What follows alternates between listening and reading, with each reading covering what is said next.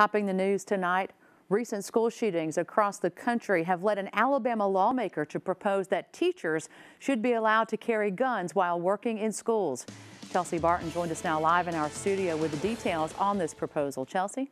Well, Lynn, that legislator is Republican Representative Will Ainsworth of Guntersville. His bill would allow teachers who've met certain criteria to carry concealed pistols while working in schools.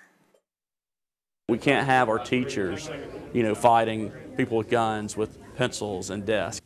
In a press conference Tuesday, Alabama Representative Will Ainsworth said that thousands of the people in his districts have reached out to him requesting that something be done to keep their children safe from tragedies like what happened in Parkland, Florida just one week ago. It allows teachers to go through APOS uh, certified training 40 hours. If they do that, they're going to be able to carry a concealed weapon on campus. They're going to have to pass a mental health um, background check. Ainsworth says his constituents expressed concern that there's not always enough time for a school resource officer or security guard to respond to a shooting. I certainly think there's people that can go through proper training to actually make sure if the gunman comes in that you know he's going to be able to be taken out. That's our goal.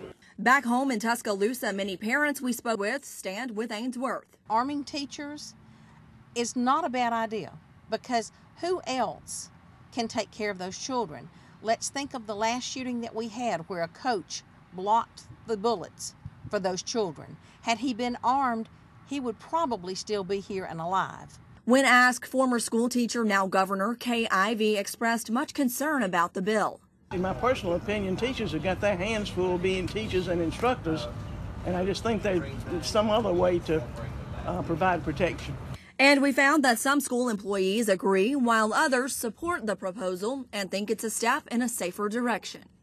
If it was okay with the system, and uh, yeah, if it was okay with the system for me to have one for protection, then yeah, I, I would have it. I'm against it. Teachers are there to teach. We love our children, and we don't want to be part of the problem. And I feel like I would be part of the problem if I had to carry a gun around.